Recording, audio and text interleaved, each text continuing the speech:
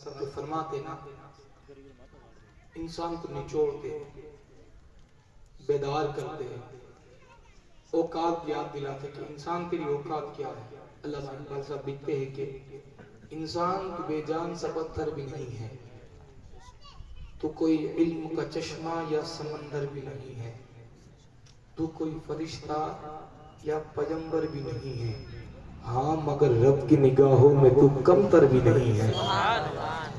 इंसान तो बेजान सा पत्थर भी नहीं है तो कोई इल्म का चश्मा या समंदर भी नहीं है तो कोई फरिश्ता या पैगंबर भी नहीं है। हाँ मगर रब की निगाहों में तो कमतर भी नहीं है। जो कुछ भी है तो अपनी हदों को पहचान, रहमान की पकड़ से तू बाहिर भी नहीं है। और दुनिया न बसा दिल में कि दुनिया की हकीकत मच्छर के एक पर के बराबर भी नहीं है। दुनिया न बसा दिल में कि दुनिया की हकीकत। मच्छर के एक पर के बराबर भी नहीं है। आइए आपकी समातों के हवाले। आज के खुशूसी समा का मेरी मुराद जनाब जावेद बासनी साहब से वो आए और हजूर सलाम की बारगाह में अपनी हाजिरी पेश करे। इस शेर के साथ मैं उन्हें दावत सुकन दूँगा कि जल रहा गे मोहम्मद की दहलीज पर।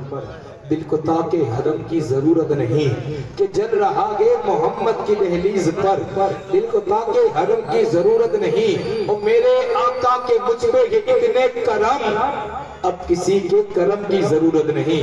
माइक ऊपर जनाब जावेद बासिन साहब।